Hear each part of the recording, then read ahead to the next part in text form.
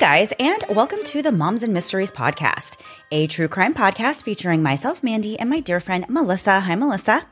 Hi, Mandy. How are you? I am doing well, surviving the month of April, which I think I may have mentioned before is the busiest month of the year for me. I have like everybody I know and care about is got a birthday in April, so it's just a This very busy, busy month. The second year in a row you've said it that exact way, knowing good and well my birthday's not in April.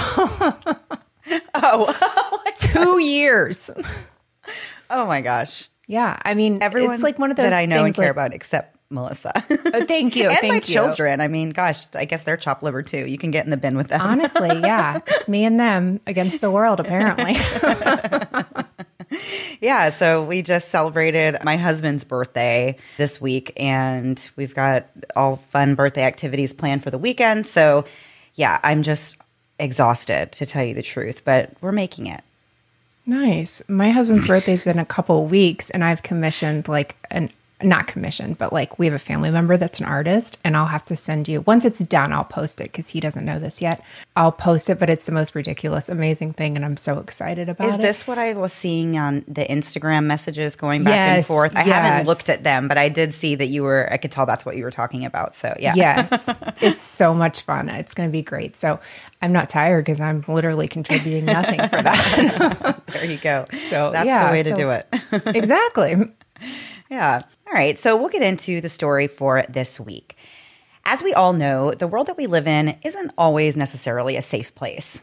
If you listen to a lot of true crime, then you know that danger can be lurking in the most unsuspecting places, and that even those closest to us can betray us in the most ultimate ways. We all do our best to avoid dangerous situations, and we have a reasonable expectation of safety in these average everyday lives that we have. So it makes it that much more shocking when a murder happens at a place and time that nobody would expect, or when it happens to a person that nobody would expect.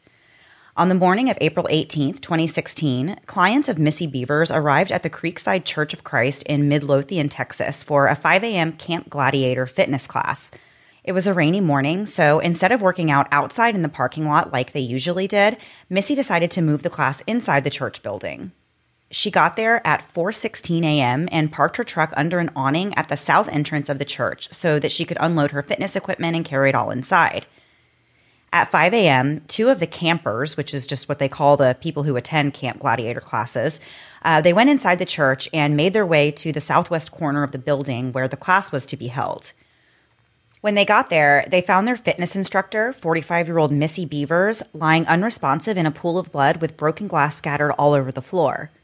Several tools, including a large hammer that came from inside the church, were also found near her body. The campers who found Missy called 911 and then called Missy's husband, Brandon, to let him know that there was an emergency.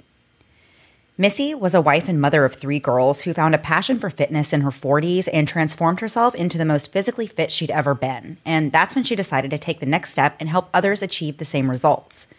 Becoming a Camp Gladiator fitness instructor was the perfect choice for Missy, who had this background in teaching, but had been a stay at home mom since the birth of her first daughter.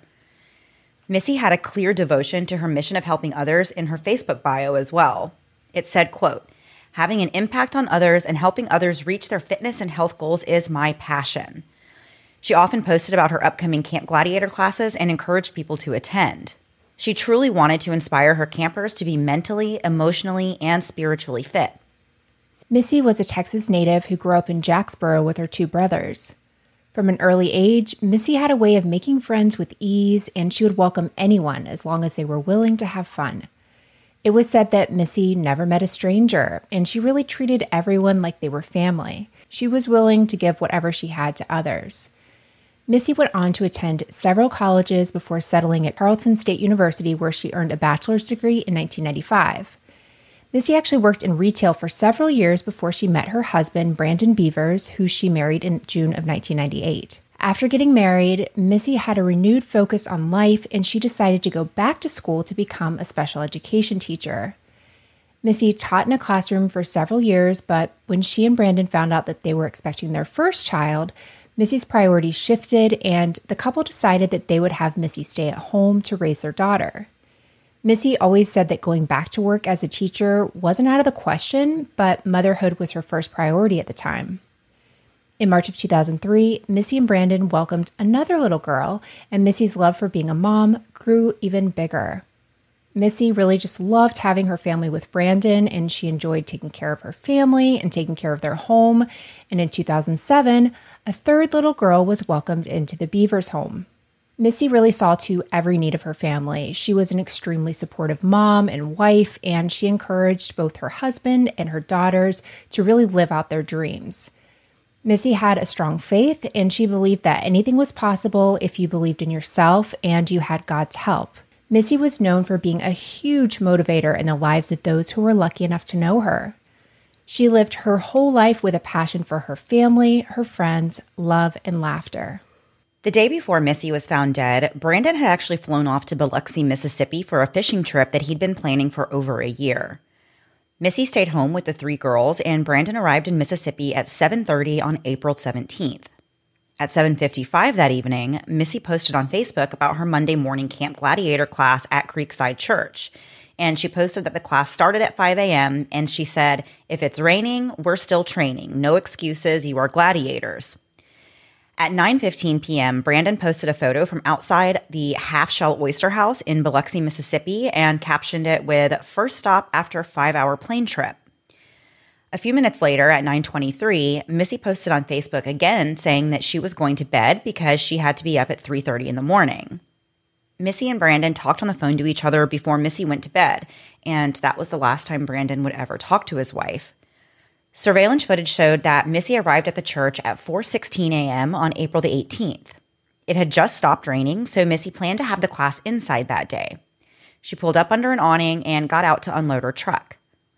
Just 45 minutes later, when it was 5 a.m. and the class attendees had made their way inside, they found Missy lying lifeless in a pool of blood.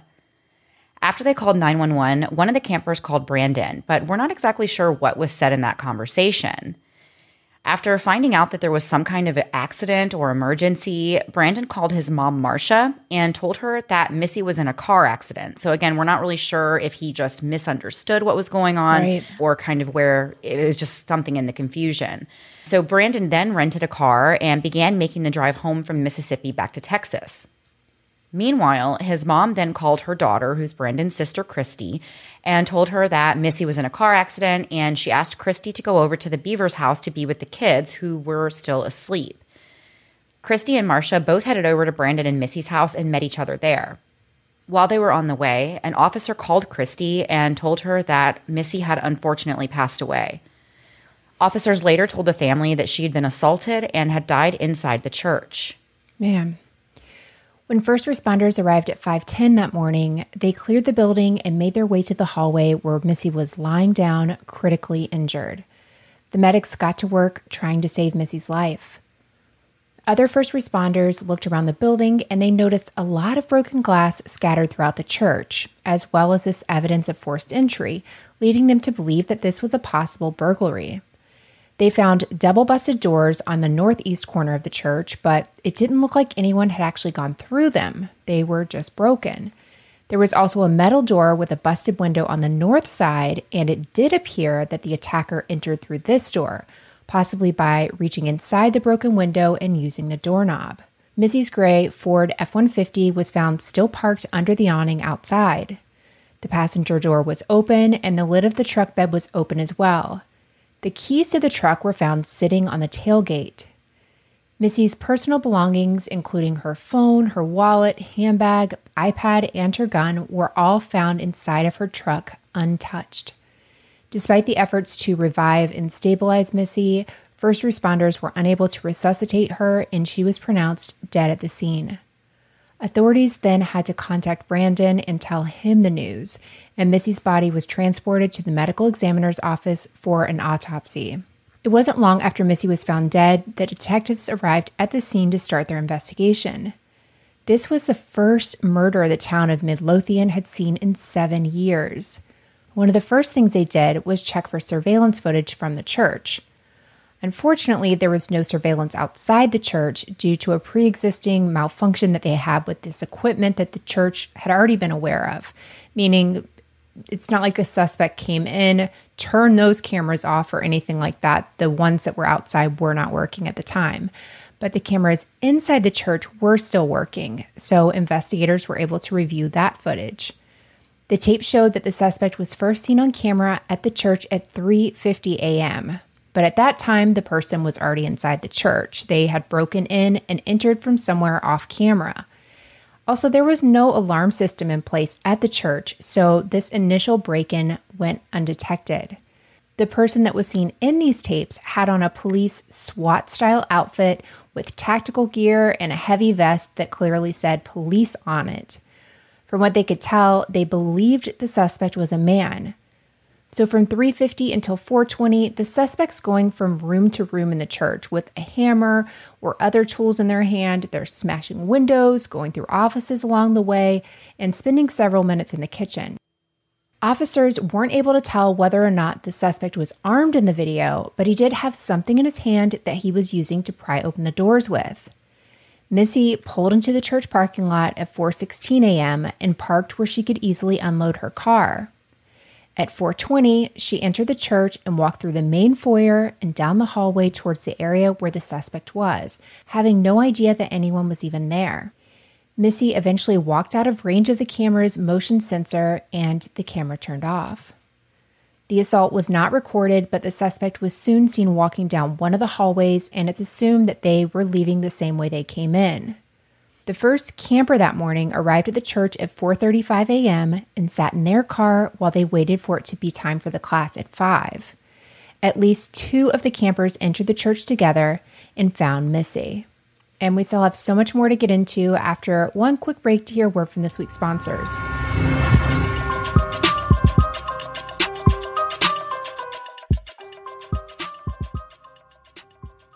Here's this week's weather report. It's hot. It is really freaking hot, and it won't be getting better anytime soon. So, to combat the sweat and the funk, Lumi Whole Body Deodorant is here to save the day. Lume was created by an OBGYN who knows their way around body odor. Lumi is seriously safe to use anywhere on your body. We're talking pits, underboobs, thigh folds, belly buttons, butt cracks, and feet. On top of that, Lumi is clinically proven to block odor all day and control odor for up to 72 hours. Unlike those other deodorants that just try to cover up the smell with a fragrance, Lumi is formulated and powered by mandelic acid to stop odor before it even starts. It's like a pre-odorant. But wait, it gets even better. Lumi is aluminum free, baking soda free, and paraben free. I keep Lumi deodorant wipes in my gym bag because that's a great time for a refresh. I'm partial to the lavender sage fragrance, but I can't wait to try their new powder fresh. Speaking of fresh, that's exactly how I feel after using Lumi. Or, to put it more eloquently, in the words of OutKast, I feel so fresh and so clean, clean. So don't let body odor get you down. Get your hands on some Lumi whole body deodorant and say goodbye to funky smells for good. Trust us, your nose and anyone who comes near you will thank you. Lumi Starter Pack is perfect for new customers. It comes with a solid stick deodorant, cream tube deodorant, two free products of your choice like mini body wash and deodorant wipes, and free shipping. As a special offer for listeners, new customers get $5 off a Lumi Starter Pack with code MOMS at lumedeodorant.com. That equates to over 40% off your starter pack when you visit lumedeodorant.com and use code MOMS. Hey guys, as you know, I'm someone who loves knowing a little about everything. I love the news, I love entertainment, I love it all. But sometimes I don't have enough time to get all the information, all the little details and the minutia of everyday news because my goodness, it's constantly going. But thanks to the Newsworthy podcast, I can get all I need in little bite-sized pieces. So if the stress of the news is getting you down, but you still want to know what's going on in things like the election, check out the Newsworthy. And in these 10-minute episodes, they're just on the go listening. I can listen to it quickly on a walk, on my way bringing my kids to or from school or one of their activities, when I'm in line at the grocery store, there's never a wrong time to listen to the newsworthy. But if you feel bogged down by the news and kind of the negativity of it, but you still want to be informed on what's going on, the newsworthy is the place to do it. Erica at the newsworthy is an independent journalist and her team does really all the hard work and research for you. I love that the episodes are so well rounded and there will be fun stuff like tech or big stories, but the way Erica gives this, you know, efficient and neutral overview of the news and in just 10 minutes each weekday, it's It's it's perfect. Just search The Newsworthy in your podcast app or go to thenewsworthy.com to start listening. Again, search for the podcast The Newsworthy, two words, The Newsworthy, to make staying informed easier and more enjoyable every weekday. It's been a while since I've had a baby of my own, and some days I miss it so much. The baby cuddles and baby smiles, but when it comes to diaper rashes, not so much. I remember the first time my oldest had a diaper rash, I was really devastated. Here's this tiny thing totally dependent on me, and now she's fussy and obviously uncomfortable, and I'm supposed to have the answers. Well, with time and treatment, it went away, but what I really wanted was to avoid it altogether. And now, baby butts rejoice. New Huggies Skin Essentials are here, a brand new dermatologist approved line of diapers, wipes, and pull ups training pants, all designed with baby's sensitive skin in mind. The wipes are thick and have zero harsh ingredients for a great, gentle clean. Pull Up Skin Essentials has got your big kid covered too, with a training pant that's ultra soft and breathable to help protect sensitive skin throughout potty training.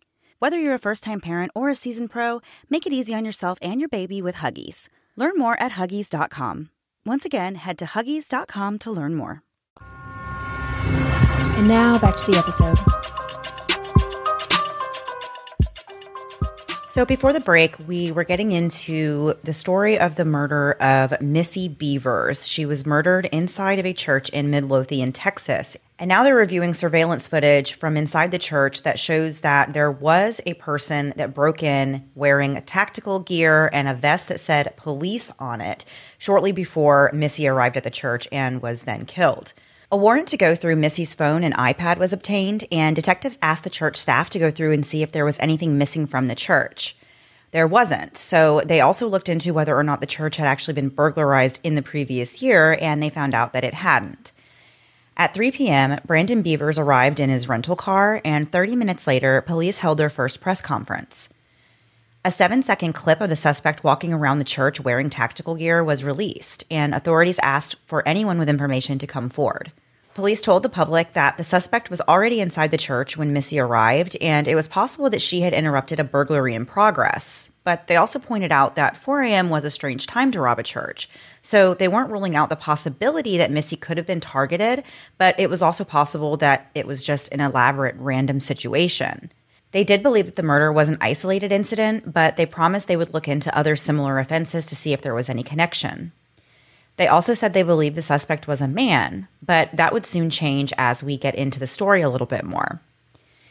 Meanwhile, within 15 minutes of arriving home, Brandon was approached by Fox 4 on his doorstep looking for an interview.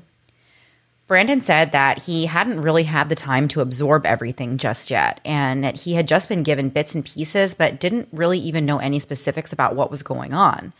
He told them that he was in Mississippi about to go on this fishing trip when he received the call from one of Missy's clients.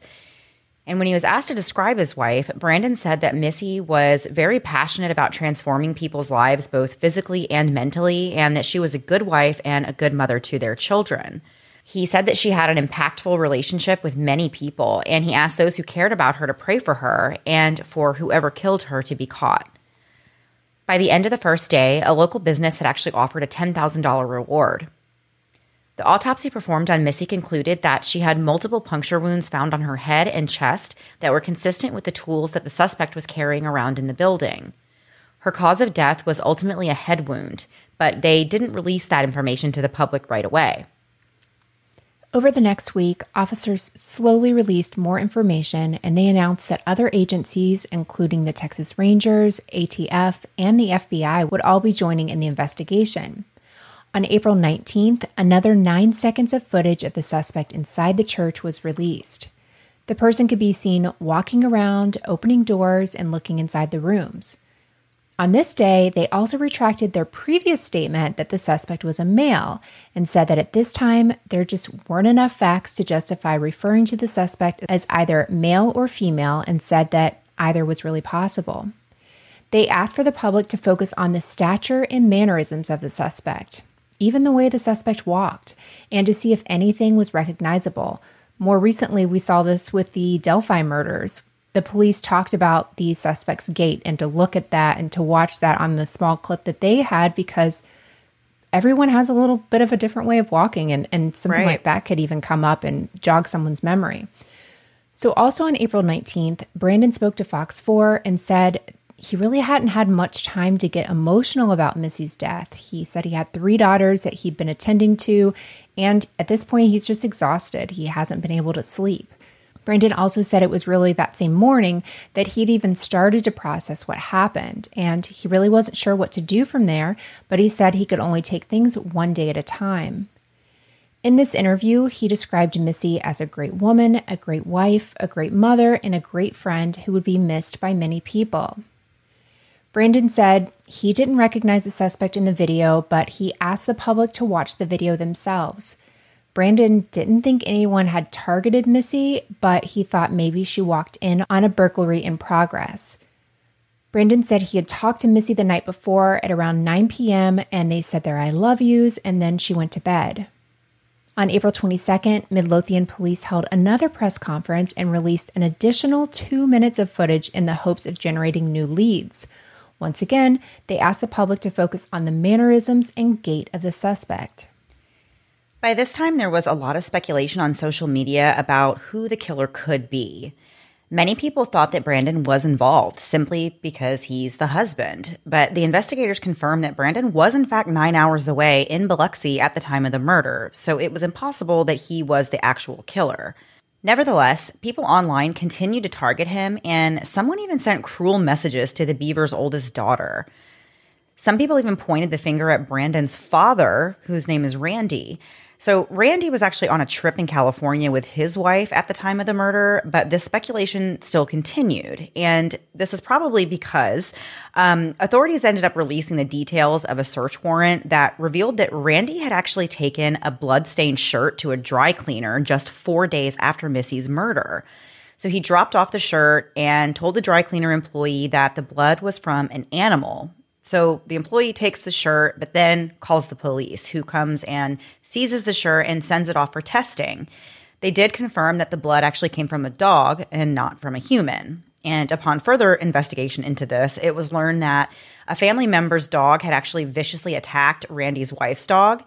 The dog was severely injured, so Randy rushed it to the emergency vet where the dog sadly died. So Randy said, you know, he understood why the dry cleaners called the police, and it was good that people were actually reporting suspicious activity, but he definitely did not have anything to do with his daughter in law's murder. Oh my gosh, good for him that they yeah. did. Can you imagine if they were like later they find out he dropped off a bloody shirt and they hadn't called it in? Oh right. my gosh, people would be all over that. So he yes. was honestly lucky that they did that. Yes, definitely. On May 4th, Brandon met with the police on his own accord. Um, he actually told NBC5 that he frequently went to speak with the police when he had things that would come up or just things that were on his mind regarding the case. He said that he hadn't even read any of the reports about how Missy was killed because he just couldn't handle it. And he said that the only way he was surviving was because of his faith in God. The next day, investigators released details of search warrants for Missy's LinkedIn as well as multiple AT&T phone numbers, and for the first time, it was revealed that Brandon and Missy were actually facing some relationship difficulties. Missy had been involved in multiple affairs, and Brandon informed the police that he knew about her involvement in at least one affair. It was also found out that less than three days before her murder, Missy showed a friend some bizarre messages that she had received on LinkedIn. The contents of the messages hasn't been released, but what we know is that they were described as being creepy and strange. Also, in Missy's LinkedIn account was evidence of a romantic relationship with a man that Brandon had not mentioned, and that could be just because he didn't know about it.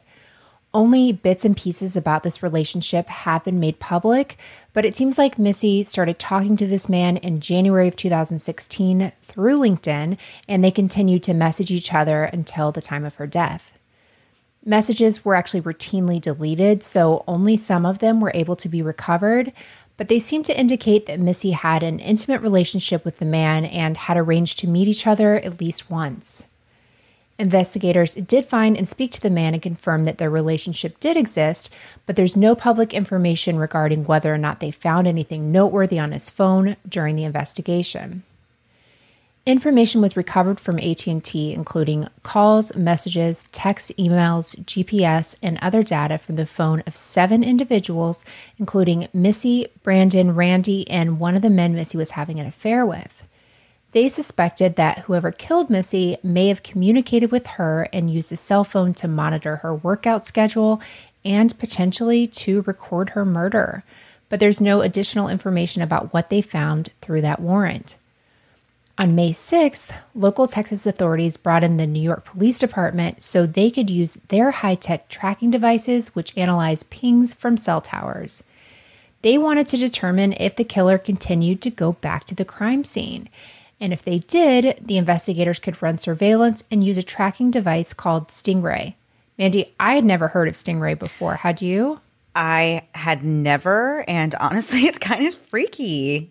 It is. Okay, so with this Stingray technology, a phone will automatically connect to the Stingray without any control from the user, and it's able to mine data off the phone really quickly. So basically, if the person's come back to the church, they have the Stingray, they're able to basically hop on the person's computer via Stingray and take any information they want off of it and that's legal.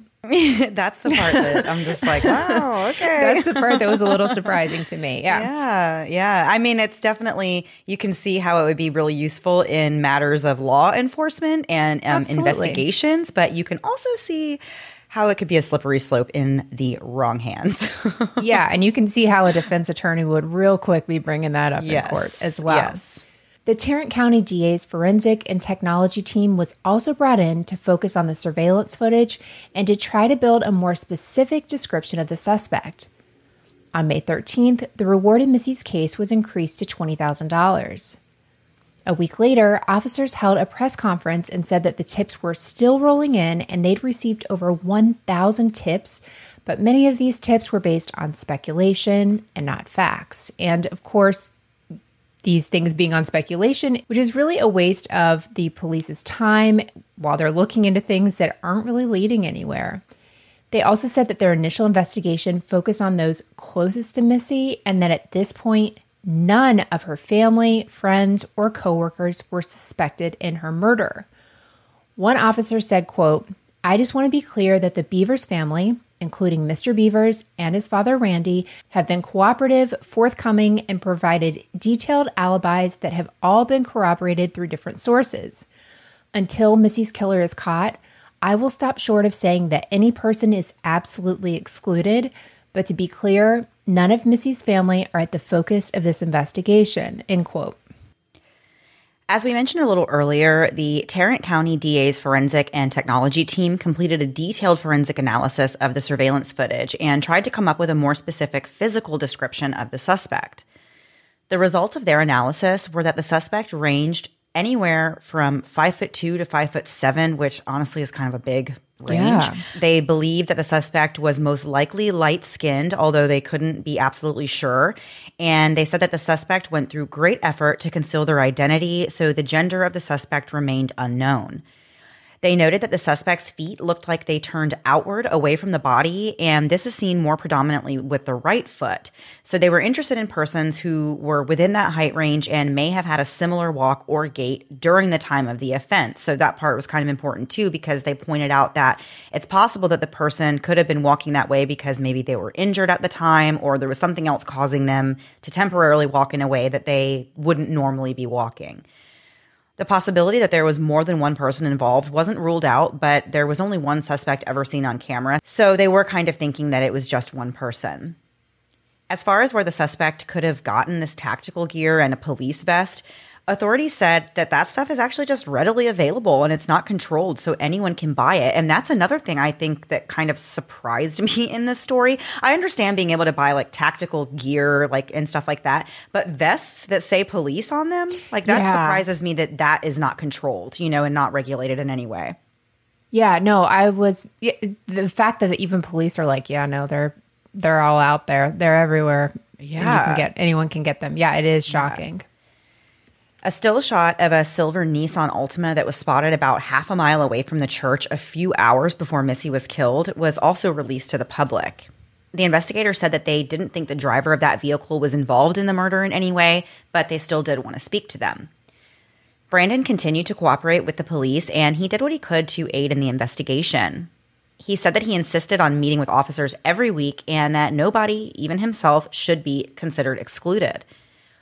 Brandon said that he had personally exhausted every scenario and avenue possible with trying to figure out who had done this. And he thought it could be anything from business related to some kind of jealousy. Brandon said that he felt really discouraged and he pleaded for the killer to turn themselves in. Brandon talked about how he had been just doing his best to shield his daughters from the things the media was reporting on, particularly the things they were saying about the affairs that Missy was having and the issues that the Bevers were having within their marriage. At some point, Brandon told People magazine that he believed Missy's killer was someone that knew her and had a motive. He asked why somebody would break into a church dressed in tactical gear, then go through the building breaking windows, and then murder a woman and just leave. The suspect didn't even take Missy's wedding ring or any of the valuables that she had in her truck. Or anything in the church. So why Right. would they have even broken in in the first place? Right. Then on May 25th, it was reported that Facebook friend requests had actually been sent to several of Missy's friends starting about a month after her death. And the profile was from someone that was using Missy's name. Days later, police told NBC News, quote, the best we can tell so far, the profile is gone, which means a dead end for us. They said it could have been a scam, a glitch, or even a joke, which is like so disturbing to think of someone creating a Facebook page using the name of somebody who has been recently murdered and sending friend requests to their friends and family. That kind of also makes me think that it was definitely somebody who knew her that that murdered her. I don't know. That kind of is strange to me that someone would do that. Yeah. Well, I don't know because this was a huge story.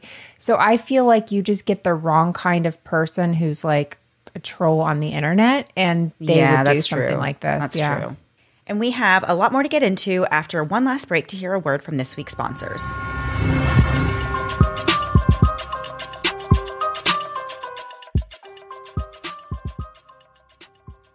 I spent last week decluttering my house. Seriously, we had so much stuff and it just takes up so much room. And one thing I assumed would just always take up a big amount of space forever was my laundry detergent. But that's before I tried Earth Breeze. Not only does Earth Breeze come in a tiny package, it's actually biodegradable and plastic free. It's like carrying around a cloud. And if you're like, cool, Melissa, but use words like an actual adult, well, think dryer sheets, but smaller. Earth Breeze sheets are liquidless and dissolve 100% in any wash cycle, hot or cold. There's no measuring, no more mess, and no more giant plastic jugs to lug around. Just toss a sheet in and you're in business. Earth Breeze has really revolutionized the whole detergent game. Not only is Earth Breeze compatible with HE washers, gray water systems, as well as being septic safe, but their eco sheets are hypoallergenic and dermatologist tested, so even sensitive skin can join in on the fun. And one big plus for those of us who hate running out of detergent but still keep doing it is their flexible subscriptions, which are a game changer. You can adjust, pause, or cancel at any time without any annoying contracts or fees. And to top it all off, they offer free carbon neutral shipping right to your doorstep at a frequency that works for your unique lifestyle. I love the convenience of Earth Breeze and the fact that they are biodegradable and plastic free, but also it's really easy to get your kid to wash their own clothes. They can just throw in a sheet and they're done. Have you ever seen a kid try to pour detergent into a tiny cup? Your nerves will be shot for days. And most importantly, Earth Breeze is tough on stains, fights odors, and will leave your clothes cleaner than a whistle. And if you're not satisfied, they offer a risk free 100% satisfaction guarantee, no questions asked, no return necessary. Switch from the old fashioned goo to something new. Right now, our listeners can subscribe to Earth Breeze and save 40%. Go to earthbreeze.com slash moms to get started. That's earthbreeze.com slash moms for 40% off. earthbreeze.com slash moms. And now back to the episode. So, before the break, we were speaking about the police investigation into Missy's murder, some of the things that had gone on after the murder, and kind of where the police were at this point. And so things started slowing down in the investigation around June. There weren't as many tips rolling in, and the media coverage was falling off. The Bevers family was very frustrated at this point because they had no answers. And even though police had officially said that the family was cleared of suspicion, people were still blaming Brandon and other family members for Missy's death. In July, new investigators from Dallas and Fort Worth took a look at the case, but they didn't find anything new, and the investigation slowed down even more. At some point, the Midlothian Police Department hired a forensic podiatrist to review the footage of the suspect and weigh in on his or her gait. So the doctor actually had a police officer put on similar tactical gear and walk around with it on and then without it on. The doctor also put the gear on himself to see how it felt and how it affected his walking. It was determined that the gear, plus carrying a weapon, does affect gait. So it's difficult to say whether or not the killer moved that way in their regular clothing. And so he also said that you cannot tell gender by gait. In October, the reward was increased yet again to $50,000. In December, investigators searched a home in the 1400 block of Nichols Street, about 30 miles away from Midlothian. The home was owned by a retired officer with a similar gait to the one seen in the video footage. This search ultimately turned up nothing in regards to Missy's death. The owner of the home was cleared as a suspect after they confirmed his alibi. In January of 2017, footage of the Nissan Altima police were trying to locate was released. They had only released a still shot before, but in this new footage, the car can be seen circling the parking lot of SWFA Outdoors, which was a few miles away from the church. So at one point, the driver of this Nissan Altima turns off their lights and then turns them back on. And the police reiterated that they didn't think the driver was actually involved in the murder, but they still wanted to speak to them. As of today, though, we don't think police have ever located the driver of this car. And I understand that they like release information a little at a time. They have to keep some close to the chest, but it feels like the car could have been a very important thing to get out there earlier. Right. Yeah. And I don't know if you had a chance to look at some of that footage, um, Melissa, but I watched yeah. like the, the video of the car in that parking lot, and it's all just so weird. You know, like it just it really yeah. doesn't make a lot of sense. It's like, what was that car doing there? You know, like it doesn't really it just doesn't make a lot of sense at that time of day. Um, and yeah. so you can understand why the police also would like to speak to them and just find out. Like, mm-hmm. even if it's just like, did you see anything or what other vehicles were in the area? You know, just things right. like that. It's like not necessarily thinking that they had anything to do with it, but just they could have seen something or heard something. You know, they were in the area around the time that Missy was murdered. Right. For the one year anniversary of Missy's murder, the Midlothian PD assistant chief told NBC DFW that justice had been delayed for too long in this case and that they were still waiting for that one critical vital tip that they needed. The assistant chief said, quote, It's just difficult from a human perspective to believe that a wife, a girlfriend, brother, sister, husband, nobody was spoken to, nobody had a serious question about where that person was that day. And so, yes, absolutely, that would be great if that person came forward. In December, a little over a year and a half after the murder, Brandon told ABC that he was done spending his days hunting for Missy's killer. He talked about how he had really felt this immense responsibility to Missy to find the person who killed her, but he said he had come to feel that that just was not realistic. And he felt powerless to solve the case. And his biggest priority was his daughters and their welfare. So he was saying, you know, for everybody's well being, you know, mentally, emotionally, and for their healing. He felt that it was best to kind of take a step back and not be as hands on, I guess, as he was with, um, you know, looking for Missy's killer. In February of 2018, a new detective was assigned to Missy's case and they began reviewing all the tips starting from the beginning. The MPD assistant chief told NBC DFW, quote, if you told me two years ago that we would be talking about this case and it's still unresolved, I would have thought you were crazy. It's just not something I anticipated. Missy was a mother, daughter, wife, and had three little girls. To look across the table at her family and have to admit the amount of information that we don't know is frustrating, end quote. So, at the two year mark, police said they were still working with outside resources and pursuing new leads as new investigative techniques are released. In April of 2019, the three year anniversary of Missy's murder passed, and detectives said they were still meeting once a week to discuss her case and review new leads. Unfortunately, though, those new leads weren't panning out. At the five year mark in April of 2021, Midlothian police said that Missy's murder was not a cold case and that tips were still coming in almost daily. They had over 3,000 tips in total and had traveled across Texas and into some other states to follow leads. The department also added a retired federal agent whose primary responsibility was to look over Missy's case. The case has been presented to several homicide investigators' associates for review, but unfortunately, no new investigative work was generated from it. The MPD revealed a new height analysis of the suspect that worked by estimating the vertical distance from the floor to the top of the head where the suspect had on to be about five foot eight. So, actually, that original range that they had, this is even higher than that. So, Right. it's almost like they just they just don't know. The reward was also increased to $150,000 in April of 2021. The True Crime Broads podcast, which was created to keep Missy's case in the public eye, raised money for the reward and for a billboard to advertise the reward. Brandon told KRLD that he'd been holding on to hope and trying to stay busy. He said, quote, you have the family, Missy's family, and there is still a significant amount of sadness that still prevails in our hearts and minds, end quote. So, where is this case at today? Um, so, just kind of to recap, it was at some point before 3:50 a.m. on April 18th, 2016, that the suspect entered Creekside Church of Christ and started rummaging around with a hammer or a similar tool. Missy entered the church at around 4:20 a.m. She was murdered at some point before 5 a.m. when her body was discovered. She had multiple puncture wounds on her head and chest that were consistent with the tools the suspect was carrying throughout the building.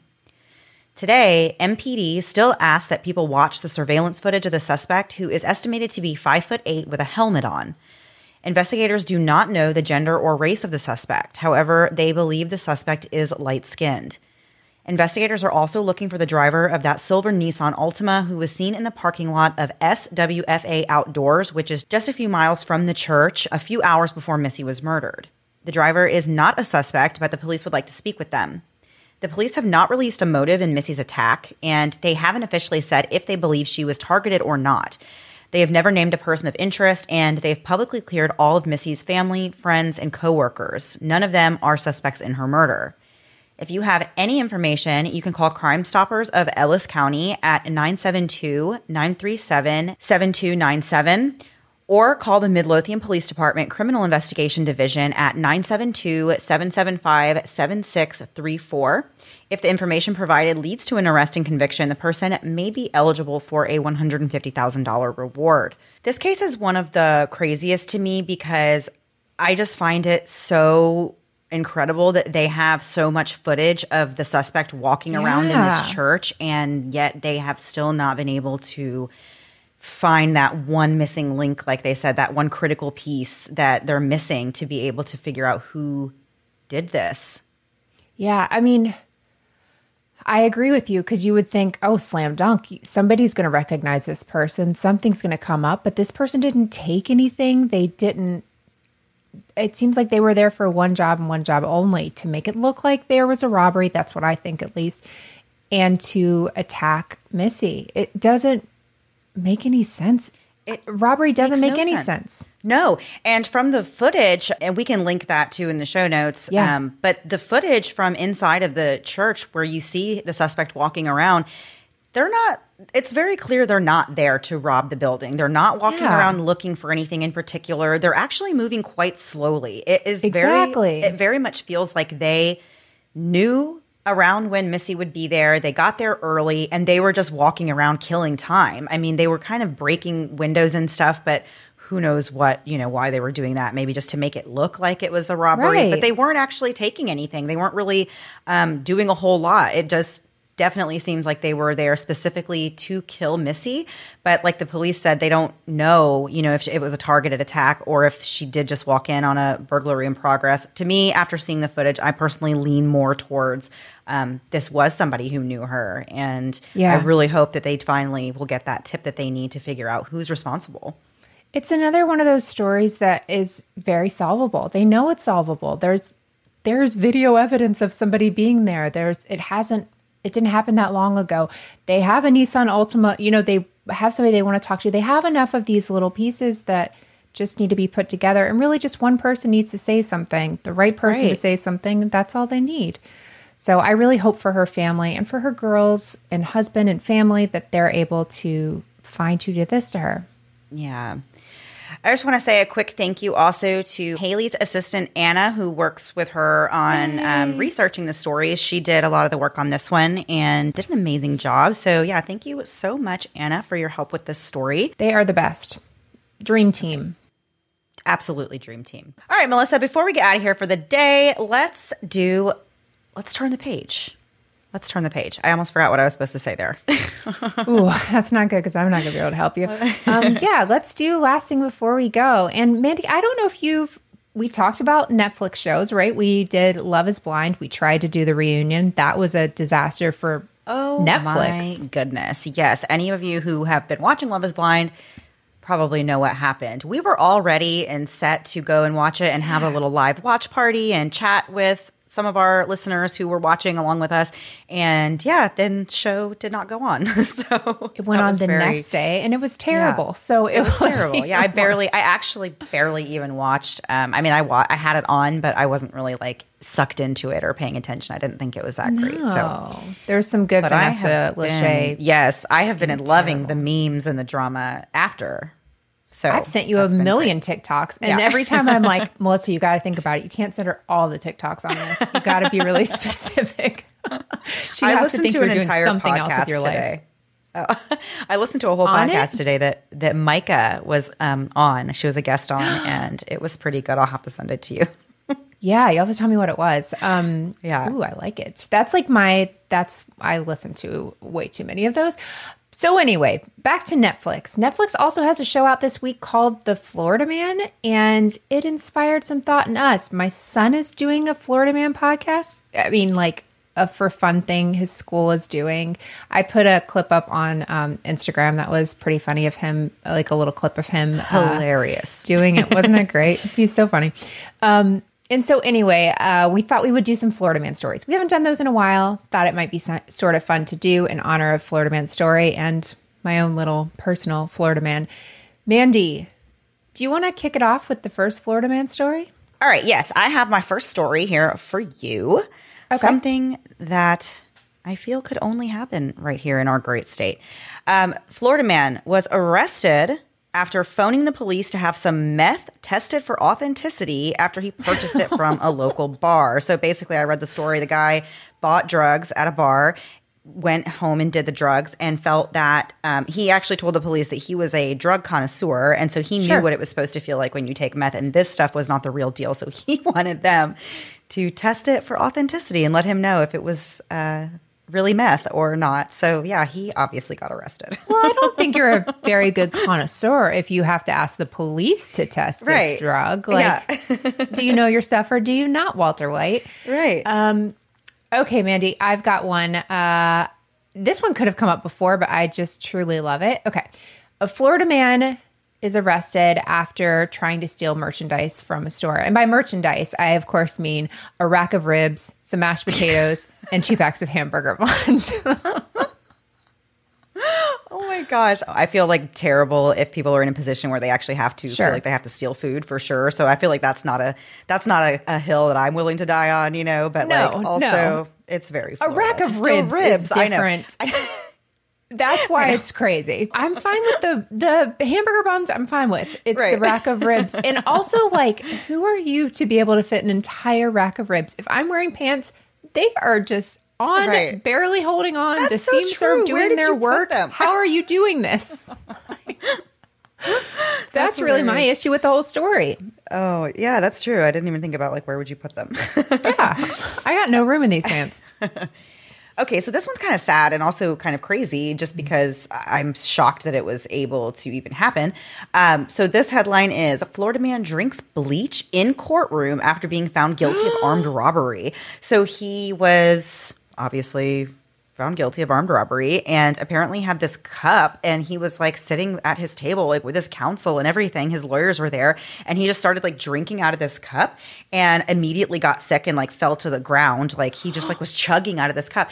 And his family was in the courtroom and everything. And they were like oh. freaking out. And of course they're like how did this even happen? Like how did he even get this bleach or whatever it was into this cup into the courtroom like when nobody even noticed or anything but yeah Did he survive? he did survive he Okay. did yes Okay, well then That's a That's the only terrible reason why I mentioned it. Yeah, he survived. I've heard of that happening and like there was I've seen the video or part of it, the guy that took like cyanide or something terrible, like same kind of idea. He just took it, but it did not end with him just being sick. It was much worse. So let's continue for something more ridiculous.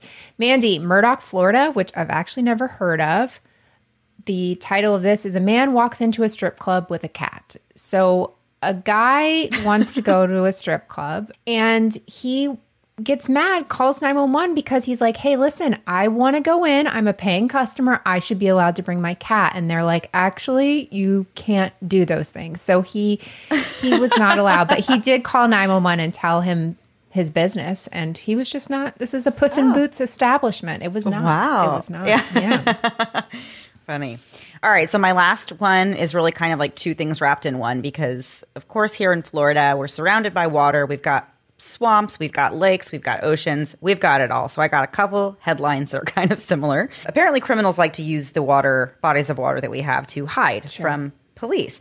So one of them is helicopter chases Florida man fleeing crime scene by running into the sea. He got about 200 feet into the ocean before they got to him and nabbed him. I don't know where he was going or what his plan was. And then another one says a Florida driver strips down, hides in swamp to evade police after crash. He was driving without insurance or a valid license, and he just went into a swamp, which that was dangerous because honestly, give me a ticket. I'm not getting in the swamp infested or gator infested swamp waters of Florida. That I Okay, will so there's- I will get my license suspended before I would do that. Yeah, there's an area between where I live and where you live. And there is an area where one day I was bringing my kids somewhere and it was all take like police were everywhere. There's helicopters and it was all a swampy area and they were looking for somebody that had went into that area. I'm not saying that's the same story because it's not because these people do this kind of thing all the time but like i was like no just arrest me. I don't even care. Just get me out of here. I don't want to do this. I'm It's going in a swamp people purposely do it. I read another story I didn't include, but basically the gist of it was that this person was biking on like a nature trail that was like in a swampy area, f- accidentally fell off their bike, but happened to like fall right where there was like an alligator with a nest, and the alligator bit this person. Somebody else came by and was able to help them get out of the water, I guess, but literally was riding a bike and fell. And then got attacked by an alligator, like when they fell on the ground. So I'm like, wow, that ah. is oh to whoever the person was right? The person who asked us last time, like if Florida has a lot of alligators, we might have lied. I think there this part should tell There's you quite a few. There's plenty. Okay, so my last story, I love the story. There is a guy, this was in Orlando. He was blocking the path of a truck at this Wawa in Orlando by doing a flip in the middle of the road. And the officers come to like get him out of the middle of the road because he's in the middle of the road. But he's He- like able, like he's doing gymnastics. Yes. It literally calls him a gymnastics enthusiast. So he does that when police go to get him. He's actually able to get away. Do you want to know how he was able to get away? Please tell me he like cartwheeled off or something. He did a cartwheel. That's exactly what he did. They were, of course, able to arrest him after that. I saw a clip. It's absolutely hilarious. He just, and like, he's 40. My wrist doing a cartwheel, like, I don't have that kind of confidence. They're just going to snap just- in half if I go down on that. But yeah, he's 40. He's I love to see eventually people out having charged. fun with life. Is that having fun with life? That's like literally the craziest thing I've ever heard. But I just love the idea. We'll have to post that clip too because it is just wild to see somebody running from the police and going into a, a handspring. So yeah, That's too funny. All right. Well, those are fun Florida man stories. Um, hopefully, your son. Hopefully, we didn't steal any of his his podcast ideas no, with our stories. yeah. He- Luckily, he's already given it up. He was like, I, I was like, Oh, "You gonna do it again, bud." He's like, "Nah." I'm like, "See, it's harder than you think." yeah, yeah, yeah. It's work. yeah. All right, guys, that is a story for this week. Um, before we get out of here, we just did have one quick little announcement, though, for Patreon subscribers or those of you who maybe are still thinking about joining us on Patreon. We've been really trying to come up with some more fun things that we can do that you guys might enjoy. So, Melissa, what are we on now? What are we doing now? Oh, okay. Love is Blind is over. Love is So- Blind is over. it's over. So we're thinking right now we're gonna try and do like monthly meetups, chats, something like that. We'll Just figure out out with us. how yeah, hang out with us. And so we're gonna do like a vote in Patreon so we can try and get the most people there and a day and time that works for people. And so if you're on Patreon, look for that. We'll have the voting out pretty soon this week. I'll wait until this is released. We'll do that and we'll try and do that once a month. We might be able to do something else or something more, but for now, that's where we're this is where we've landed. If you've got another idea on Patreon, let us know. Oh, you can join Patreon if you want to. Patreon.com slash moms and mysteries podcast. Find us there, join us. Bonus episodes every month. Every week we release episode early, ad free.